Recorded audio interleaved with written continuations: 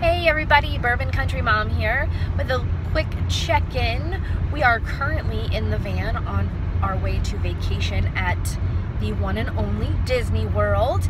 Everyone's so excited. Uh, we've been on the road about an hour now, scheduled to arrive about 1 a.m. or so if we decide to drive through. We haven't decided yet. Uh, so I figured I would just do a check-in with everybody in the car with us to see what their top thing they're looking forward to doing once we reach Disney. So we will start with my husband. Hello, everyone. Uh, so I actually have two things, if that's okay. Yep. Uh, first is Pandora at night. Yep. Super excited to see that.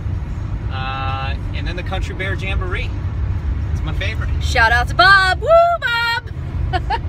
and we actually will be doing Pandora at night um, tomorrow. Uh, we have a fast pass for Flight of Passage at 8.55, so uh, make sure you tune in because uh, I'll be sure to post some videos of that. So let's move on here. Molly, what are you most excited about doing at Disney? Soarin'. Soarin', all right, that's a cool one.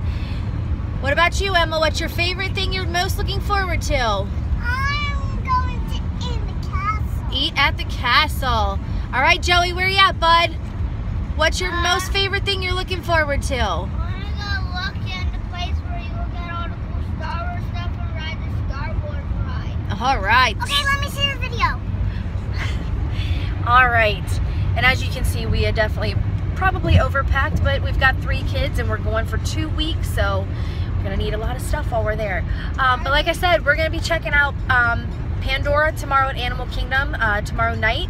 So just uh, make sure you stay tuned over the next couple weeks. I'll be sure to post lots of videos of um, all the cool stuff at Disney and any updates that are going on. So. Uh, well, make sure if you enjoy the videos though that you're uh, commenting, liking, subscribing, um, and just let me know what your favorite thing is to do at Disney when you go, or if you've never been, what you would be most looking forward to do once you do get to go.